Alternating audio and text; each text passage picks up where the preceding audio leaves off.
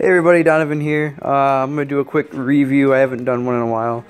And this is one that I'm just getting ready to send out and I kind of want to get a quick review on it because I think it's pretty interesting. So uh, we'll get right into it. So basically, this is a Bare Bones uh, V2 that I got a while ago. Um, I'm not going to do too much flipping with it because I don't want to wreck it before I ship it out.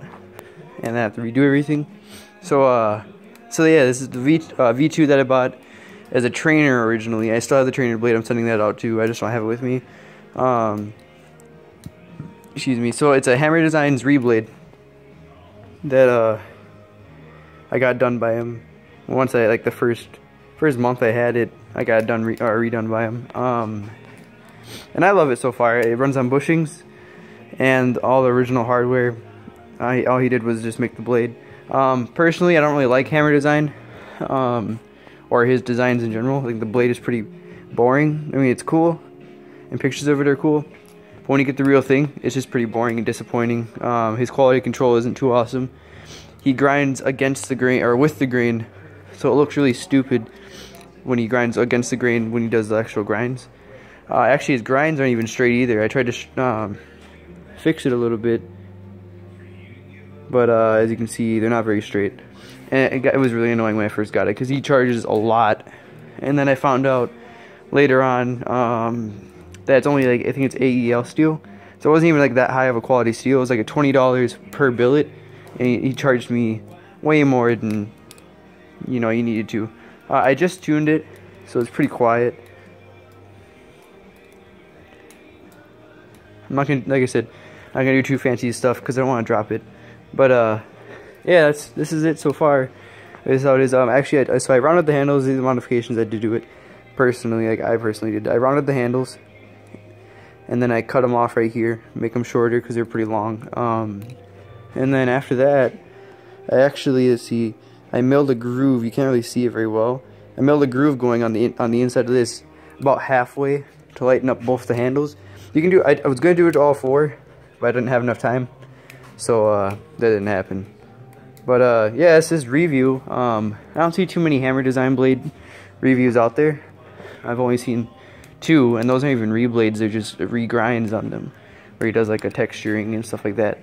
I mean, some of it's cool that he can do, but other of it's pretty basic stuff, and that blade looked like it probably took him an hour to do. So, pretty disappointed um, by it with the amount I paid for it and the amount of time I took for waiting on it. Just disappointed. I wouldn't recommend him at all. Um, I think he's like I said, terrible with the quality control.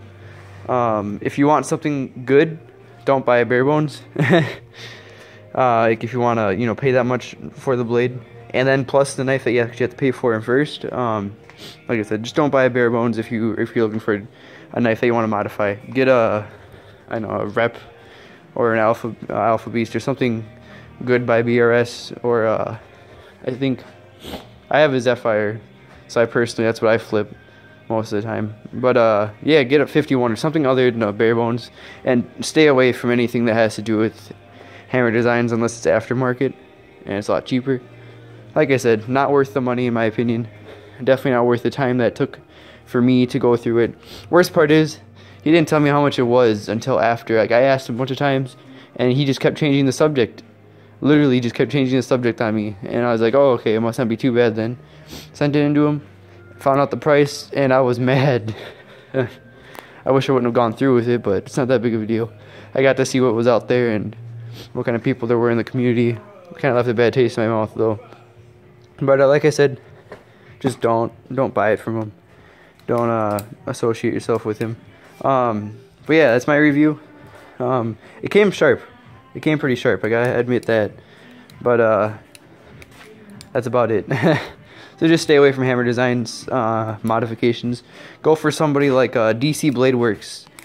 He does a pretty cool. Um, you know, he do, he does an entire. Like he does, I've seen him do 87s and completely change the you know the style and everything, the weight. Uh, it's amazing. If you want a good knife, go through him to get it modified. But don't. And he does bare bones too, actually, and uh, reblades and stuff. So yeah, do DC Blade Works. Um, stay away from hammer, designs. And uh, yeah, that's the video. Uh, thank you for watching. Um, I'm to try and post more often. But uh, if I don't, sorry. I don't even know when I'm gonna post this video. But uh, yeah, that's my review.